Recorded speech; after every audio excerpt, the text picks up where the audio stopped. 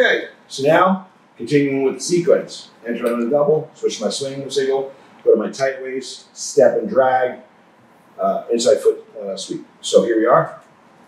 Boom, boom, boom, off the retraction, high hands double. He gets his lunge position. I run to my single right here. I step and slide, still keeping that good pressure shoulder. Now step and drag.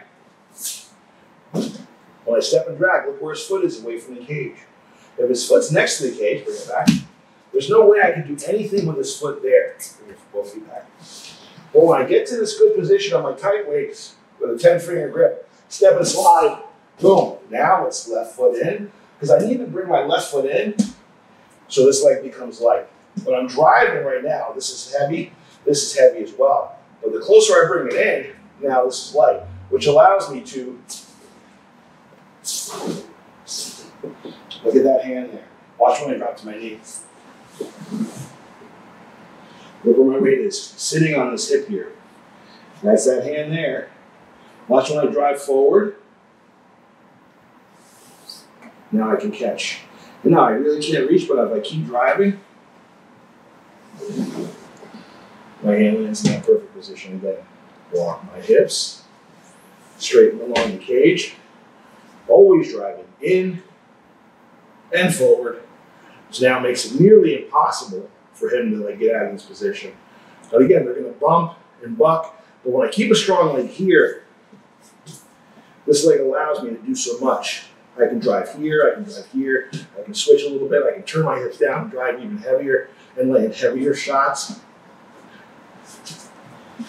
Any of the referees gonna stop that fight. One more time.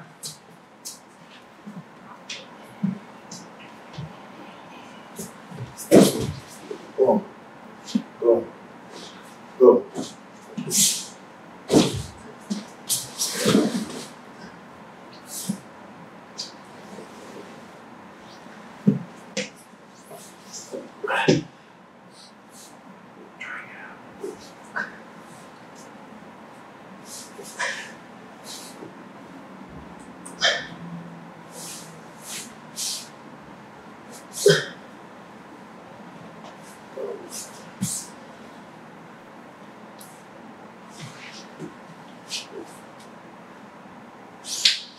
So eventually, we're going to give you the finish just by trying to get out. There's not going to be an intelligent way to get out from that position until you see the second DVD. Uh, but until then, right now, it's just going to be you're going to have some real good success with these different positions.